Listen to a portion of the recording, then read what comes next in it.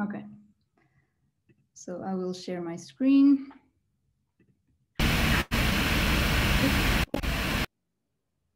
It's, ah, was a weird sound, but it stopped, right? Sim, foi o João Bahia que entrou, eu já desliguei o microfone dele. Força, Ah. Sara. Uh, so hello everyone, uh, olá a todos. Uh, my name is Sara Brysch. As Anna already said, I'm a Portuguese architect and currently a PhD researcher at the TU Delft, the Netherlands, on the design principles of affordable collaborative housing. Uh, today I'm here to give you an overview of the defining features of a subfield of collaborative housing, namely the new cooperatives that are emerging in Europe. Um, so over the last decades and in face of the current economic, housing and climate crisis, many segments of the population began to follow a more co- conscious and needs-based uh, premise towards life and consumption, where less is all we need, where access of goods uh, overcomes the idea of property, and where collective rules over the individual. Also, concepts uh, such as slow living, degrowth, collaborative or sharing economy are regaining momentum today. So all these ideas are also being applied in the specific field of housing. So the conventional modus operandi of housing provision, uh, more top down and without including the end users in the process, is being challenged by a more inclusive, resident led, and collaborative model where everyone is actively involved. Uh, this represents a paradigm shift in housing provision and management. Uh, the role of residents change, who no longer are mere consumers. Uh, the role of professionals change, uh, namely the architects, and the role of institutions change. So housing becomes a process and a product of true participation, of co-production and co-design, where doing with dominates over doing for or doing to.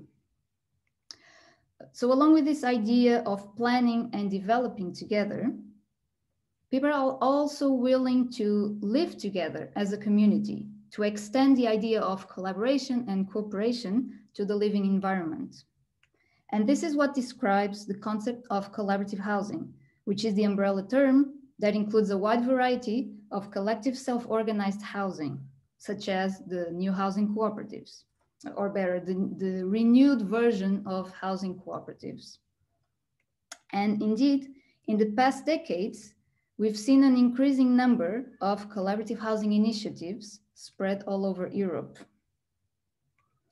These new cooperative housing models are characterized by their alternative provision and governance systems, by their alternative ownership models and alternative spatial layouts. They encompass the above mentioned notions of collaboration, co-production, co-design, and collective living.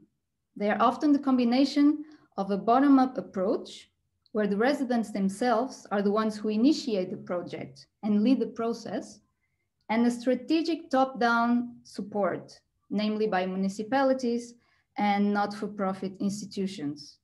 These cooperatives are therefore collectively self-organized, self-managed, and collective decision-making process is based on non-hierarchical structures.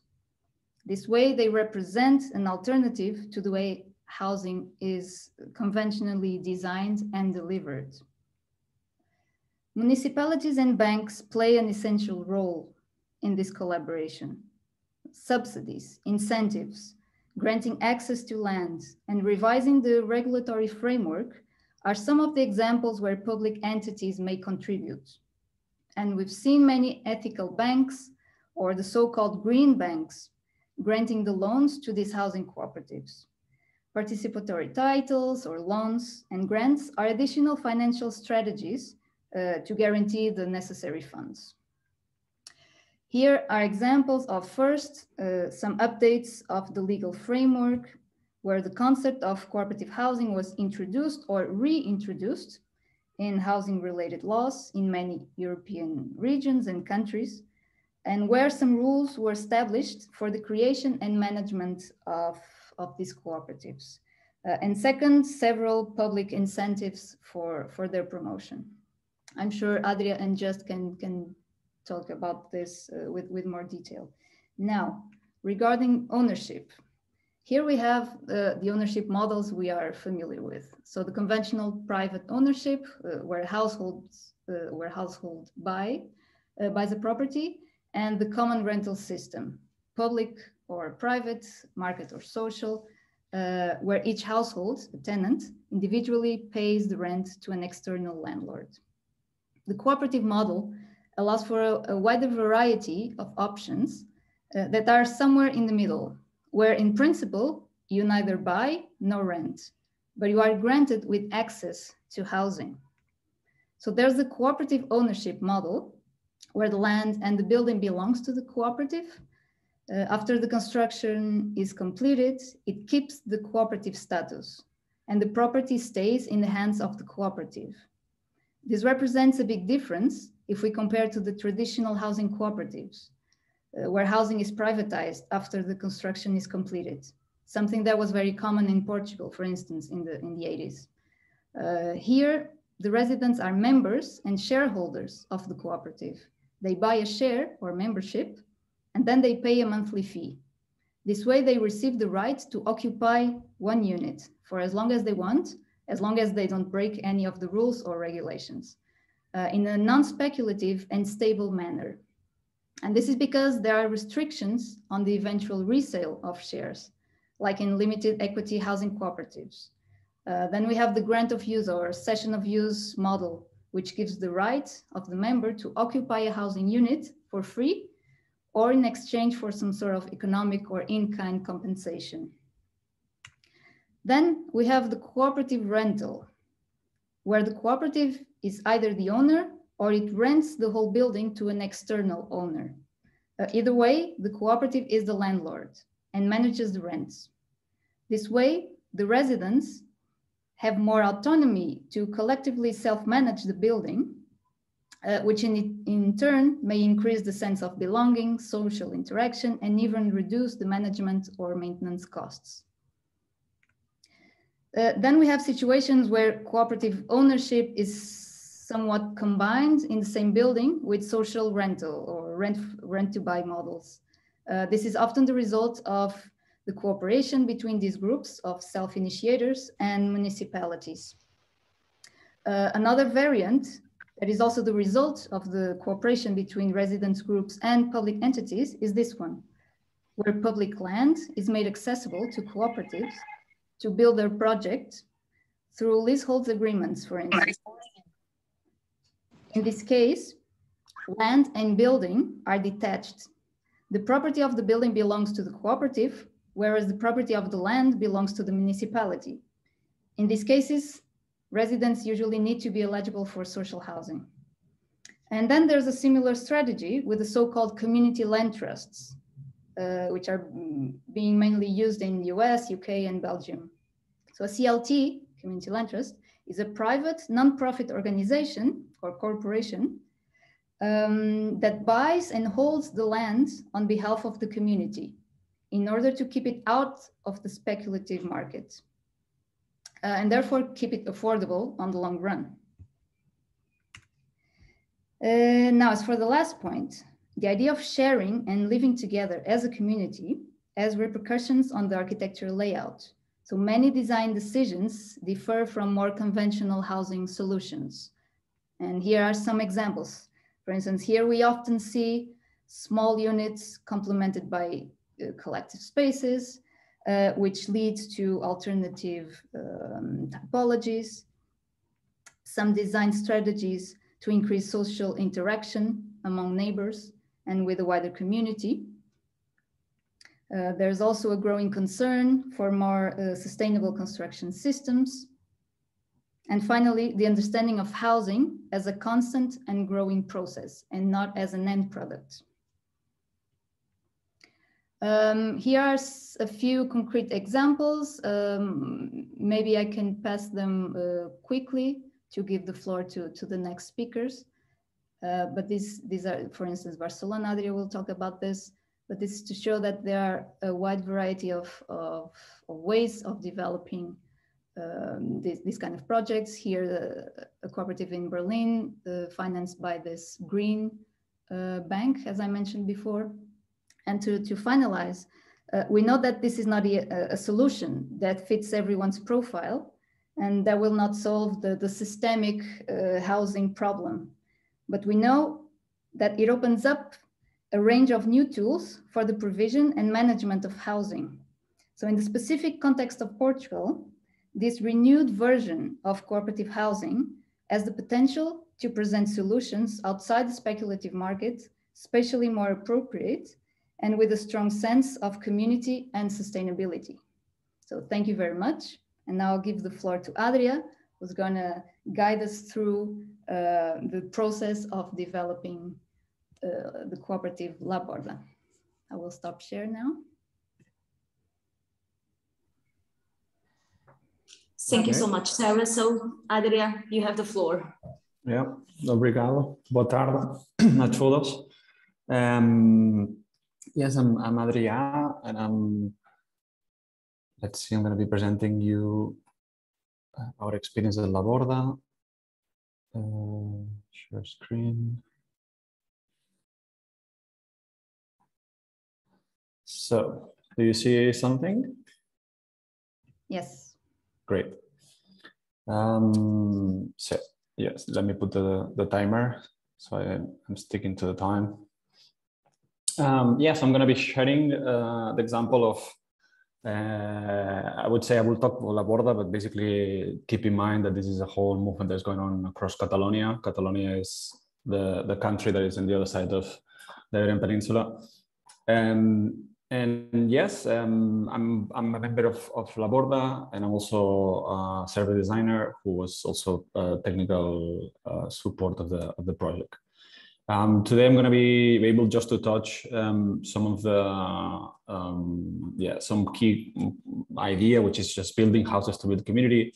But I'm going to share the, the presentation with you so you can see a bit of all the things that we also working, which is um, making sure that this happens in the frame of the right to housing so that um, it's not just a solution for the happy few and that uh, that we put effort as well and not just building uh, buildings let's say but also uh, fields of, of uh, say affordable housing. So also to pay attention to the into how we build the field.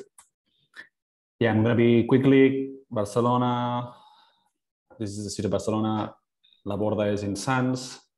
The Sants is um, uh, it's a historically uh, working class neighborhood. Um, from 150 years, the first strikes and things like that happened in this neighborhood. And one of the textile factories um, that was in use uh, ended up not in use, and then it was bought by the municipality, and so on and so forth. And there was uh, a huge multi-platform uh, process uh, that uh, after 20 something years managed to get uh, in collaboration with the, with the municipality at that time um, to start self-managing this huge complex.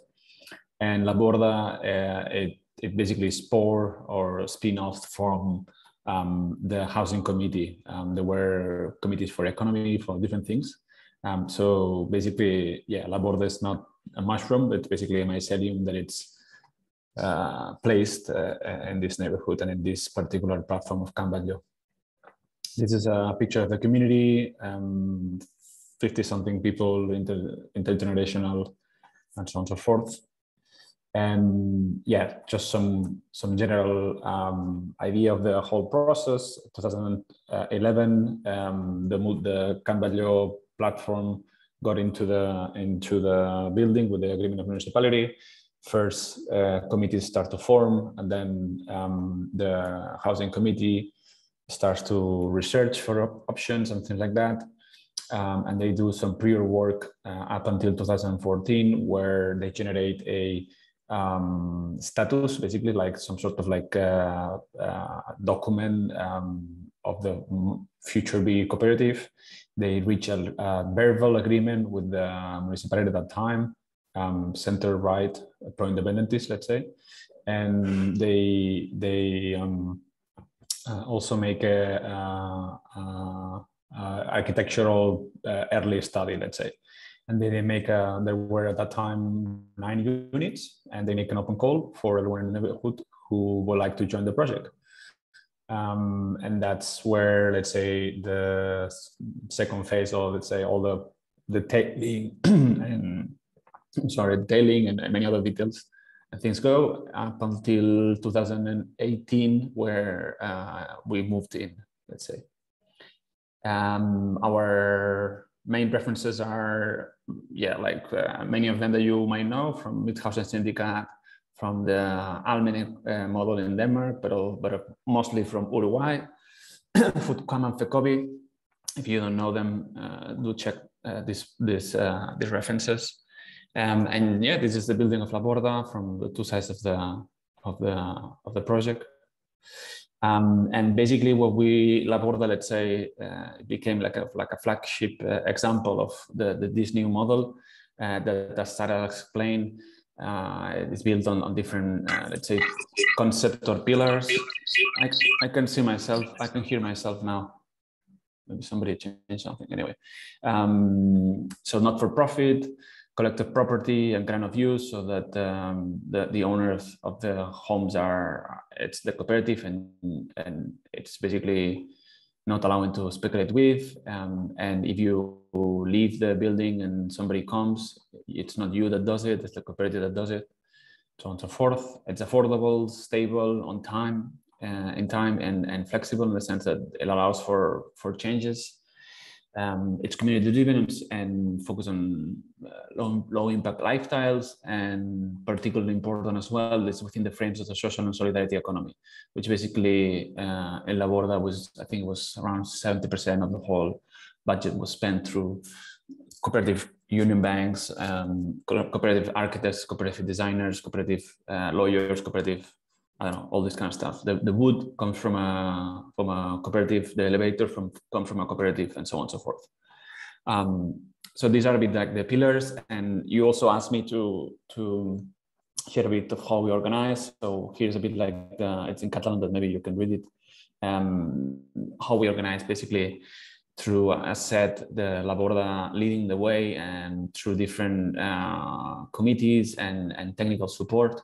Um, and of course, not just these um, formal cooperative, but many other public institutions and neighbors and, and so on and so forth. And I will explain a bit later also in the financial scheme.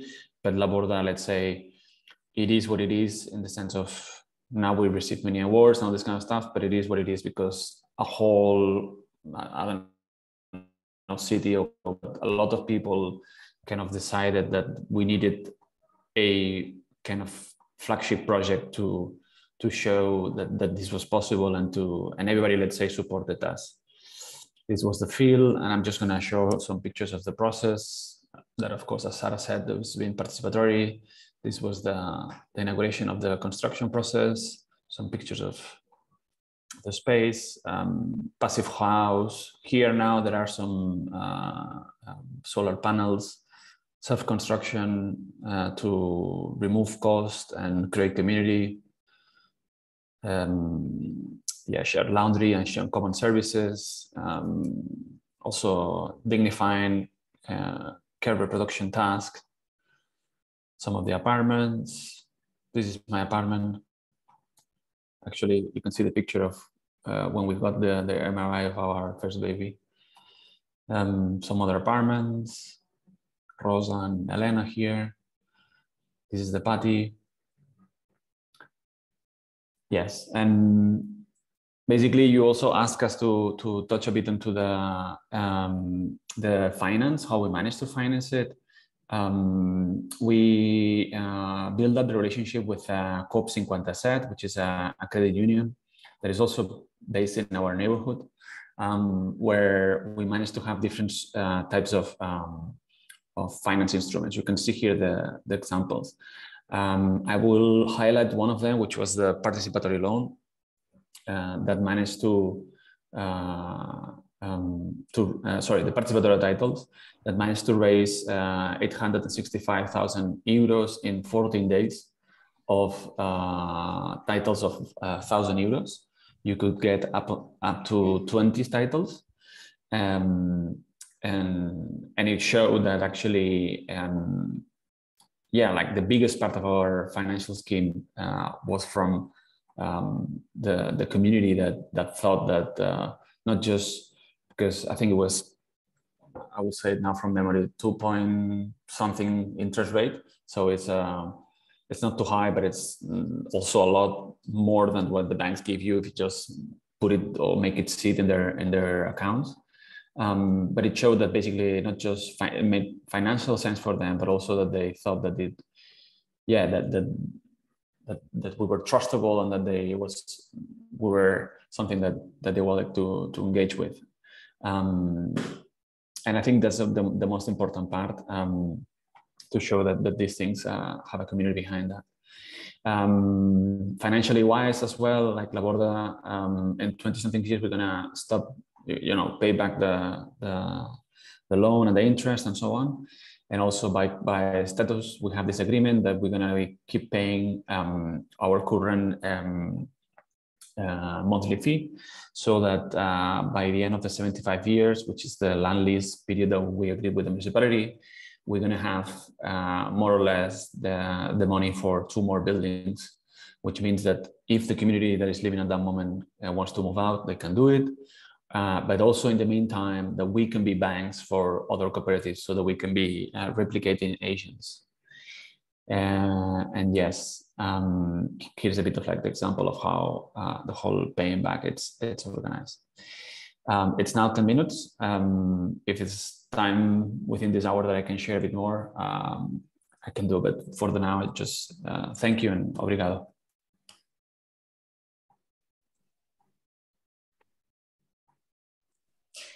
Thank you so much, Adrian. So now I give the floor to Just. Yes, uh, great to be here. Uh, thanks for the invitation. My name is Just Dengerink. I live in Amsterdam, and I would like to share a bit more of the story of the Warren. So I'll go to share my screen as well. Do you see it full screen now?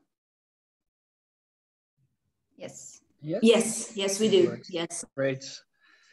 Um, also really interesting um, presentation from La Borda um, they have been a huge inspiration for us as well. So we're a bit later in the in the process. Um, the Warren is about sustainable, affordable, and cooperative housing.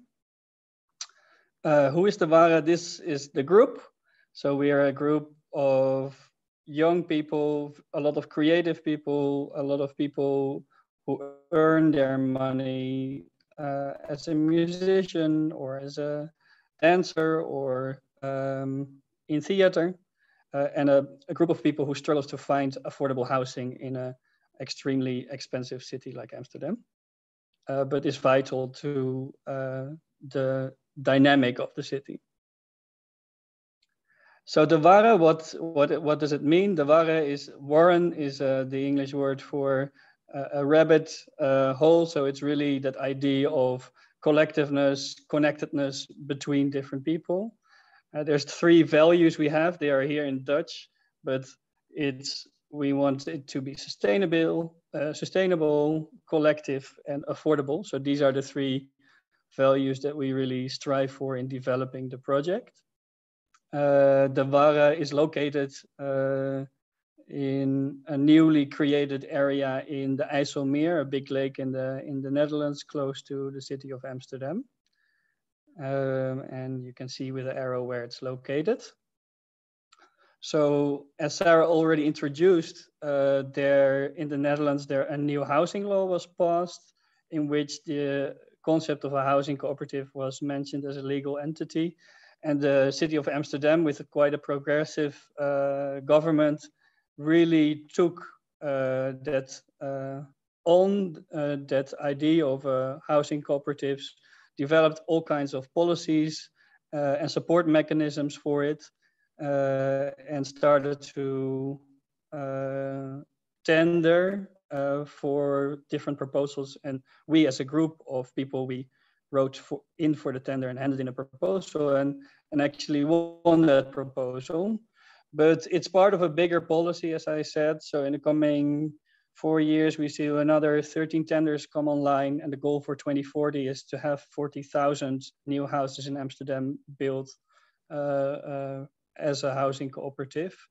Uh, and in the Netherlands, in general, this is a growing movement. Also in Nijmegen, Almere, and Rotterdam, they are actively working on creating housing cooperatives with support from the municipality.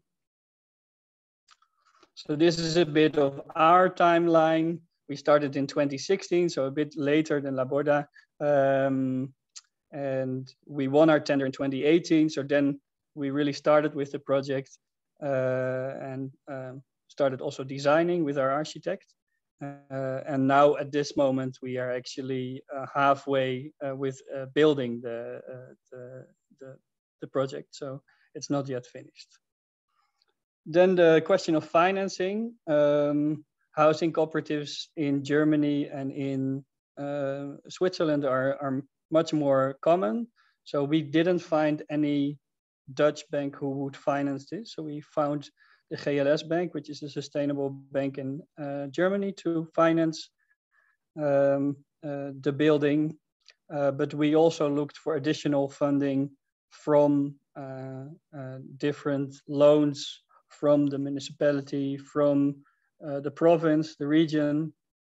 But we also launched a big crowd fund where about 115 people uh, could get um, yeah, an obligation uh, so they could invest basically a part of their, their money in the Warren.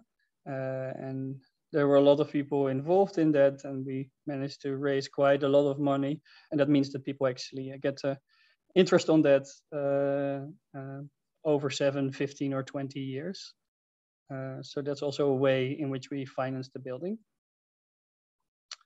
our team uh, consists, of course, of our group of 50 uh, future inhabitants, but also Nature our uh, architecture, our architect, who has been crucial in also organizing all the practical uh, building uh, uh, stuff with us and with the construction company. A big part of the process was the co-design process. So we're a collective of 50 people and we went from developing a concept and a vision to a more final design in five months and eight design sessions, which were very interactive uh, and also together with the architects. So that that really helped to co-develop that design. So here are the some pictures of, of that process, which was great fun, but also very useful to talk about values, to talk about uh, what do we like to see in a building, uh, what atmosphere do we want. So it was very, uh, very useful. This is a bit of an overview of, of uh, what kind of spaces we will have. Uh, I won't go to into them in detail, but what you can see is that the list of actually the, the, the living apartments is much shorter than the list of all the collective spaces. Um, so we made a conscious decision to make one third of all the building a collective space. So that means that we really chose to have a lot of uh, um, collective space to be together in, to eat together in the evenings, um, to do activities together, um, we have a, a, shared roof terrace. We have a, a, um, a theater room. Uh, we have a co-working space. We have an atelier. So it's really a place where all that creativity can come out and people can inspire each other. Then a bit about uh, the building. So very often in collective buildings, you will put the collective functions on one floor and then the rest goes up. Uh, but we decided to do it differently. So we have the collective spaces weaving through the building. Um, these are the collective spaces for everyone, but every floor also has their own uh, collective uh, kitchen, which uh, is connected to these, these bigger spaces. And here you have a bit of a picture of how that looks uh, from the side. Um, sustainability has been a very important topic for us. A lot of people involved in this project have a background in sustainability science or working in there in that field. So in terms of materials, we tried to use as much wood as possible, a lot of recycled uh, wood also from old uh, poles and old ship deck. Um, um, energy, we try to really uh, be as sustainable as possible with our own heat and cold storage system, solar panels. In terms of biodiversity, we try to contribute with the green facade and really also in in in the house create a lot of green space. And then in terms of water, we really try to make it rain proof, which was also a requirement of the, the municipality. Um, I won't go over all of that in detail. Here you see some examples of the materials we used, uh, reused uh, um, to, to, to, to make uh, the facade. Um, so that is how it will look. These, are will also be all recycled materials. In terms of water, we have a extensive water uh, uh, retention plan. In terms of energy, we have big um, uh, uh warmth, cold storage into the poles which the uh, building rests on. We have extensive plans for food and organic uh, waste and how to use that in our garden and in our roof terrace. And then there's a lot of attention for biodiversity and uh, attracting different types of birds and bats and bees. Uh, um, there's a lot of biologists in our group as well. Uh, this is a picture of how the roof terrace looks in the mind of the architect. Um, this is the, the garden uh, and the back uh, side of the building where you have different balconies which connect the different uh, communal kitchens. Uh, and this is um, a render of how the the communal um, uh, area will look like uh, the central area where, where everyone comes together. Um,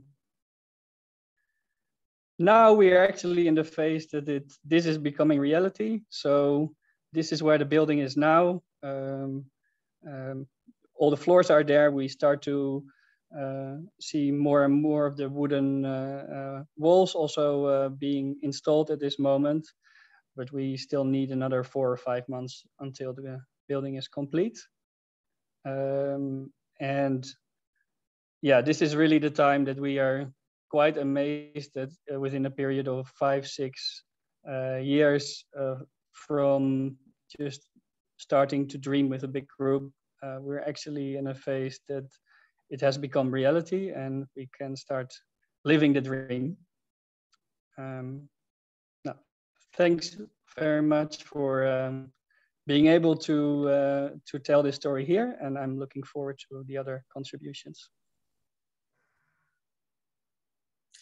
Thank you so much, Justin. Thank you to Sara and Adria. You really kept the 10 minutes, really disciplined. So we will be able to, to do this.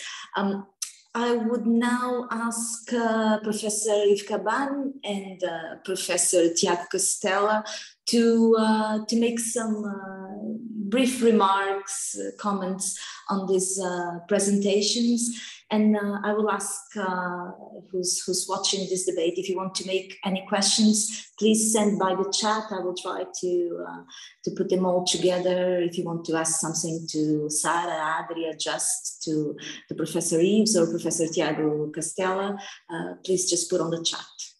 So Professor Yves? Yeah. Ikaban? Yes. yes. Please, you have the floor. So, um, well, hi, everybody and thanks for inviting me to comment. Uh, I want to say hello as well. I'm speaking from Seville to the students from the master course uh, that uh, I invited to join this session in order to learn from you and tomorrow during a workshop we'll react and deepen uh, this uh, the exercise and I hope that I can feed you back with the students on what you are doing.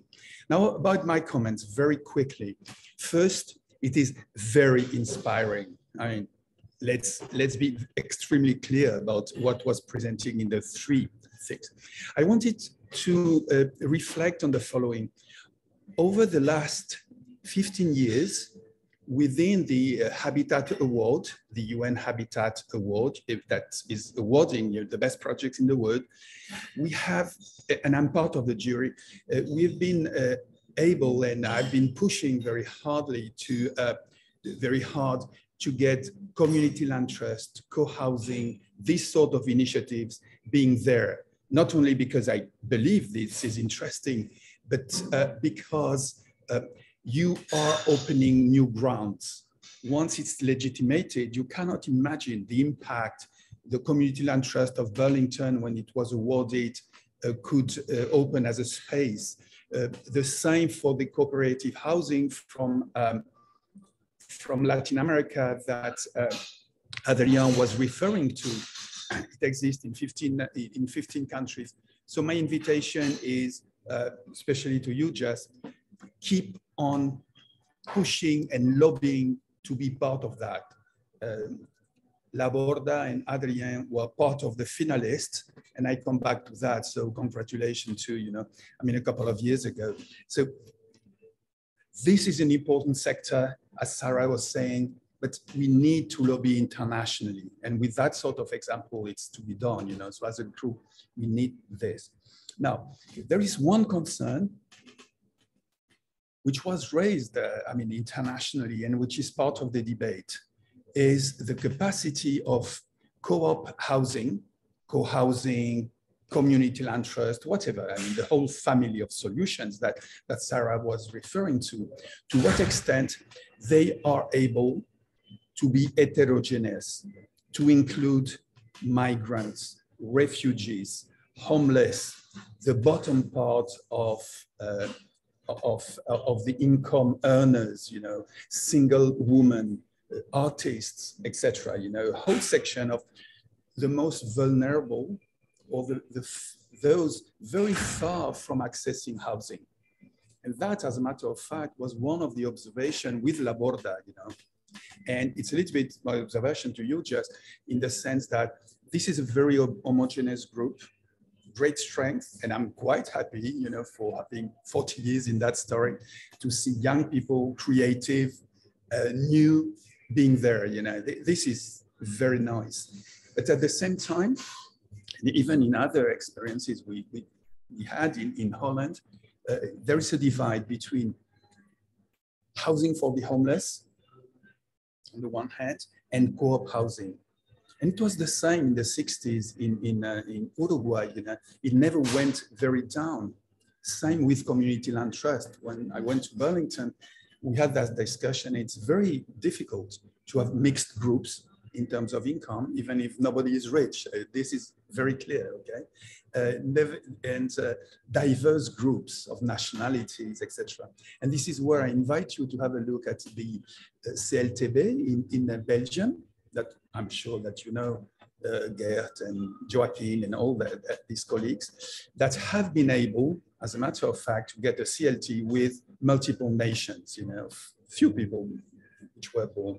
So that's one part of the story to me uh, of diversity, income, racial, etc. Is it a model that can be inclusive and to what extent? It's an open question and an open comment. Another aspect that uh, is being a lot discussed is it's about housing and I was glad to hear that uh, you made this effort uh, just when you were saying about these collective spaces and you mentioned co-working. And Adrien was referring to the link with ESS, you did uh, solidarity economy, which is part of the equation. But uh, what is at stake is if we can could have co-ops, which would be at the same time working places, not only for you as, uh, as members, but for the rest of the city to be hubs for new forms of production, for urban agriculture, for, for lots of other things, you know, which could be done.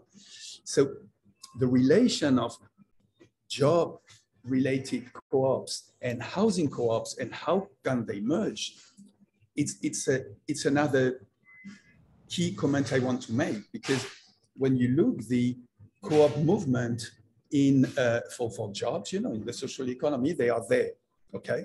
And the housing co-ops are there. It's when I speak with my colleagues in the, uh, you know, small enterprise co-ops, etc., they are not merging. And so I think that this is a bridge that we need to think about, you know. Um, I would stop here. I think that uh, we had a couple of minutes, didn't we?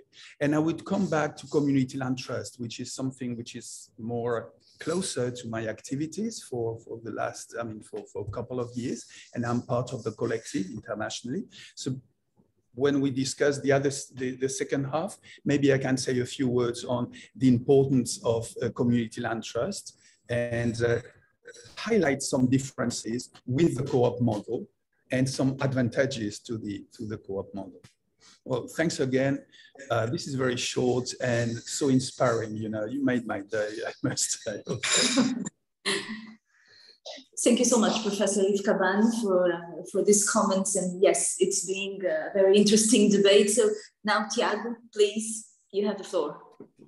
Uh, thank you, Anna, and for your very kind introduction. Uh, I also want to say that it, it was a pleasure to to hear Professor Cabannes' uh, comments. You know, I hadn't been in an event with him for many years now, and it's great to see him again. Uh, as as uh, Professor Cabannes said, you know, this these were three very inspiring presentations. You know, uh, the overview that Sara provided, and also this amazing uh, um, experiments that uh, Adria and and Just shared with us. It's it's really really um, you know, you it's made me very optimistic about uh, the futures of a house housing in Europe. You know, the possibilities that they show and you know it's uh, I, I, saw it as kind of actualizing the proposal of the feminist geographers you know Gibson-Graham of constructing a language of economic diversity um, in the political economy of housing you know showing that there are you know even though there is a dominance of uh, capitalist modes of production in housing in in uh, in Europe and elsewhere you know there are other ways uh, of of uh, of doing housing. You know, both uh, in terms of creating it and and of dwelling. Uh, and uh, I think the presentations were also very interesting because they showed how this is not just a question of uh, the initiative of certain groups, but there, there are certain conditions like legal changes, um, you know, funding by credit unions or or uh, uh, or uh, public funding, or in in the case of the Netherlands by uh, broader national policies. You know, and of course there's a relation with activism. You know, the, these changes didn't come about, you know, uh, by chance, but but we all we also have to think that there's this relation between uh, housing activism and uh, the necessary changes for these experiments to, to happen. Um, you know, uh, I am an, a historian, so my comments uh, will, be mostly thinking on on um, uh, on on on the history of cooperative housing. So um, first of all, the first comment that I would do is, uh, you know, for the Portuguese scholars and activists here in the group, I think we need to learn from the history of the political economy of housing in Portugal. I mean, we had a very rich history of cooperative housing, more or less from between 1950 from to 1980, that was partly enabled by, by national policies, of course, different bef before 74 and after. But then we had, you know, an erosion of cooperative housing as a, a possibility of production and dwelling, um, you know, by the increased focus of both the state and the newly privatized banks on subsidized mortgages for home ownership, you know, by individuals and households. So, um, and which also produced change subjectivities around the issue of housing which which make it difficult, you know, for for these kinds of experiments to to you know uh, have have a relevant scale uh, at the national level possibly. You know and some some references you know there's the seminal articles by silva pereira in 1963 published in the l'analyse sociale and also the more recent book chapter by patricia santos pedrosa uh, in the book that the housing institute published in in 2018 I think we could, uh, you know, these are two examples in, in big cities. I think we have to look at the possibilities of, of cooperative housing in uh, smaller cities, towns, villages. Um, one very interesting European history is the example of the Castors, the beavers, uh, cooperative housing associations in France, which still exists today. I wrote a little bit about it a few years ago, but I never got funding for that research that I wanted to do. Um, but it's a really, really uh, interesting example of these small scale building co-ops that exist were more about collective self-building back in the 60s and now are more about you know technical assistance uh, for for self-managed housing uh, and of course i mean and one last comment is that we have to be very careful about you know the politics of housing because this can be transformed very quickly i was reminded of gail radford's book modern housing in america in which she shows all the wonderful experiments with, with forms of co-housing and cooperative housing in the 1920s and early 1930s in the United States. And then she shows how the Wagner Act, you know, which was part of the New Deal in 1937, actually kind of destroyed the possibilities of, of cooperative housing for a long time. And now more recently, of course, as uh, Professor Cabannes mentioned, we have, we have some transformations in the states. But you know, I was just remembering the Wagner Act. I think is important, and how the New Deal affected housing. For you know, there can be you know um, moments of great creativity that are crushed, you know, by by national decisions regarding you know uh, housing policy, state funding, and so on and so forth. Uh, so to just to conclude, because I've already talking for six minutes now, um, you know, we need to uh, really push for EU and national policies in national policies in the country where these are more or less stagnant, like in Portugal. And there, you know, we need to be concerned with state funding and also the fostering of credit unions, which is something, I mean, in Portugal, basically have the uh, Credit Agricole and, and that's it. Uh, so thank you. Thank you so much, Tiago, um, for these comments and remarks. Um, we have uh, um, two questions on the chat, actually, three questions. we have uh, two questions from uh, Bernardo Alves. Um, he's asking, um, how do you choose the persons that will have a house on the cooperative? And how do you calculate the rent of each household? It is it is it accordingly accordingly to the income of the family or any other way? And then we have a question of nuno patricio he gives congratulations to all the speakers. And he says, I would like to hear a little more about the different social profiles, wage levels, savings, age, gender, nationalities uh, of the cases, and ask the Portuguese participants which social profiles these kinds of models can attend in Portugal. So I think this question is for uh, uh, Tiago and, and Sara.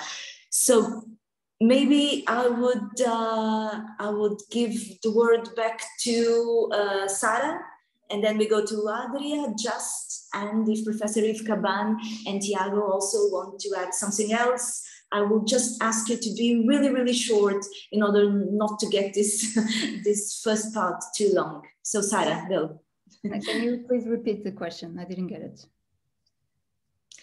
Okay, uh, you have to, uh, two questions mostly um, about uh, uh, the idea how people are chosen to be a part of the cooperative and how rent is calculated for each household.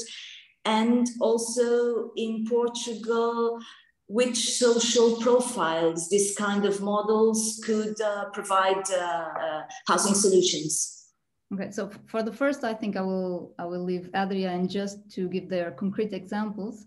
Um, in the case of Portugal, well, I think this can be a good starting point of the second part of the debate.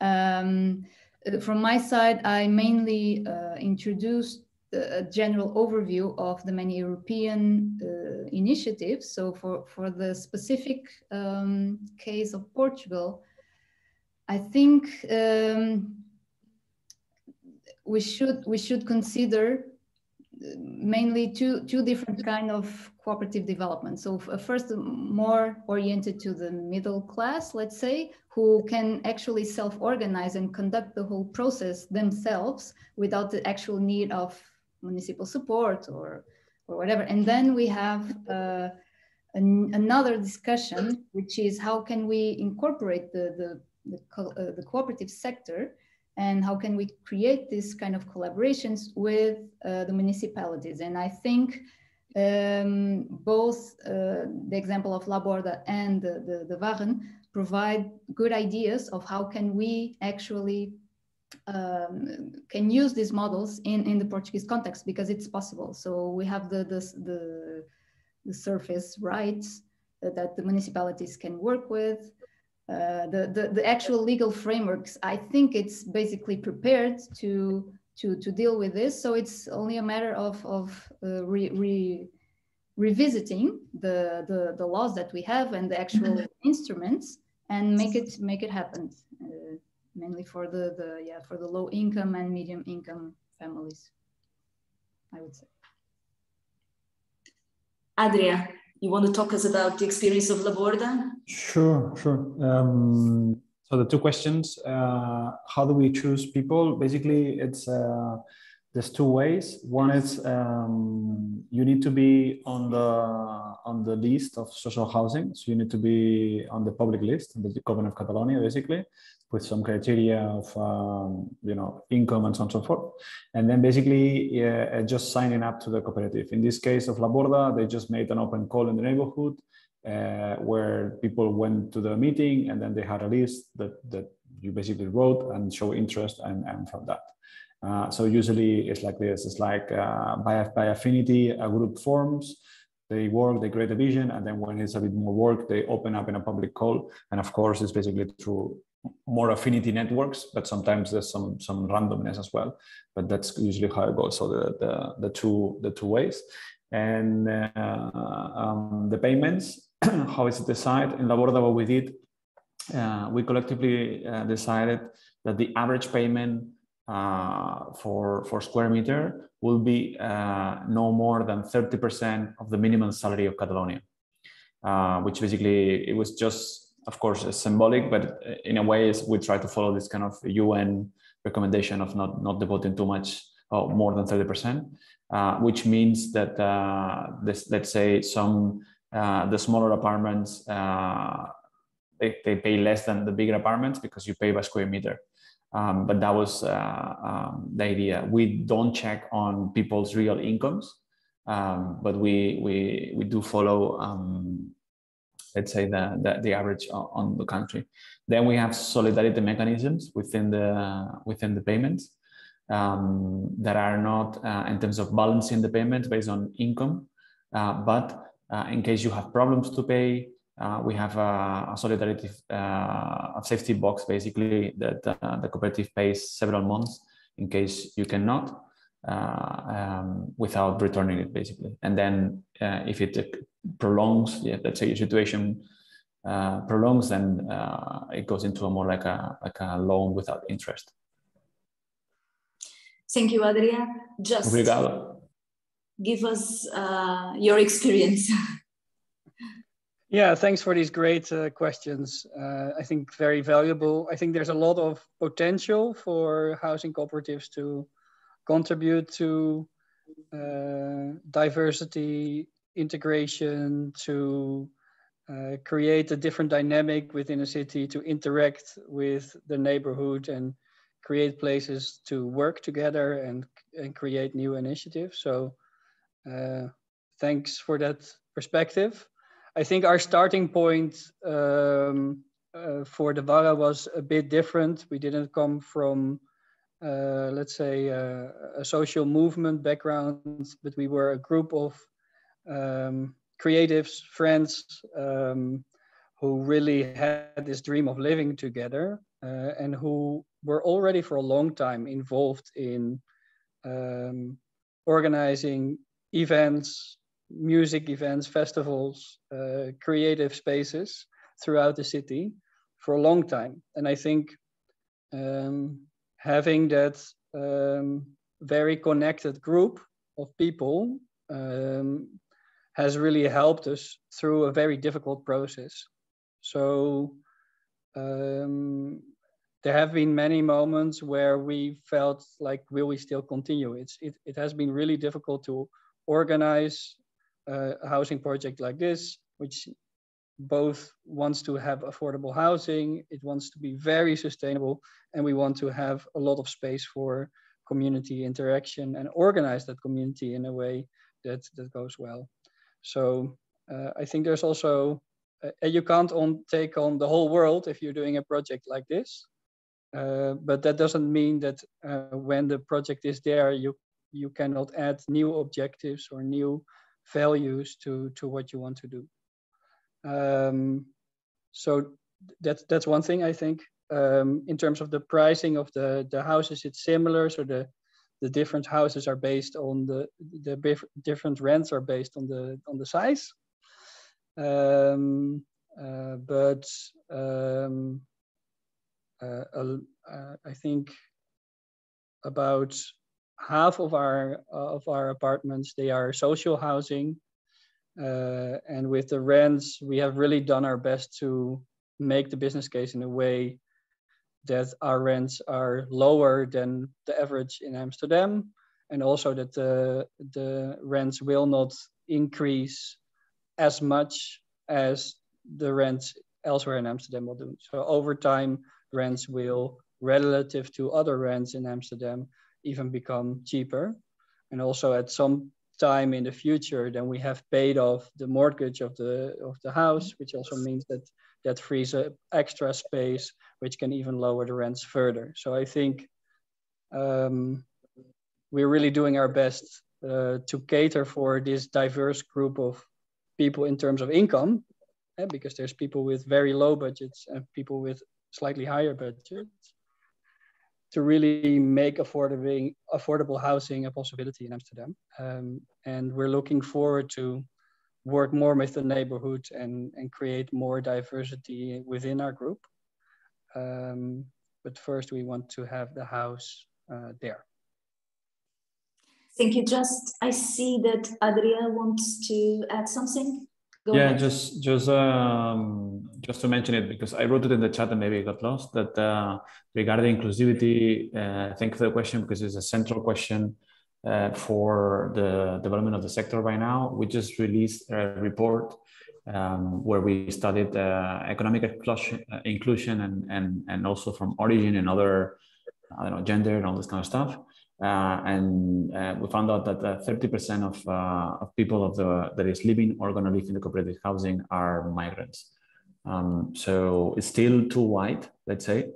Um, but um, but yeah, like like there's also like uh, particularities because half of these migrants come from Spain, uh, which of course we supposedly the same country, but there's also you, you know different differences within the country that that would consider themselves uh, also migrants and so on and so forth.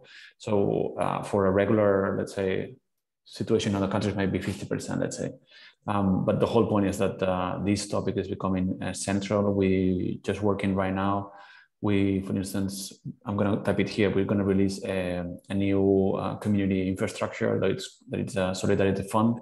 That's going to be uh, funding includes um, social flats, let's say, so that in we, we're establishing a, a strategy that in each new building, at least we have one social flat that people that usually do not get into these projects because they don't have the economic or uh, socioeconomic networks or other uh, exclusion mechanisms can can join the projects. So uh, it's a long thing to say basically, but but it's it's a central topic, and, and thank you for raising the, the, the topic. Thank you so much, Adria.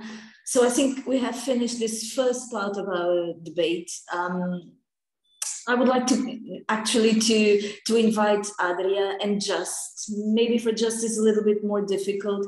We will continue the conversation in Portuguese. Um, I don't know if Just can follow Portuguese, but maybe Adria can keep up with us, or maybe not. He has something else to do, of course.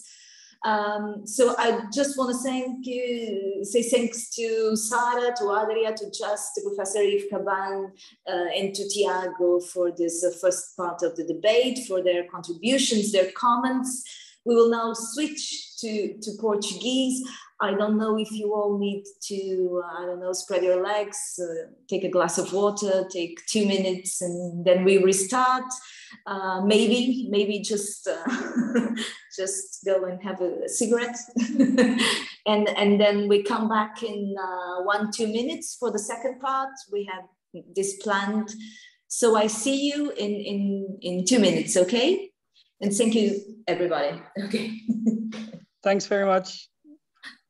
Thanks.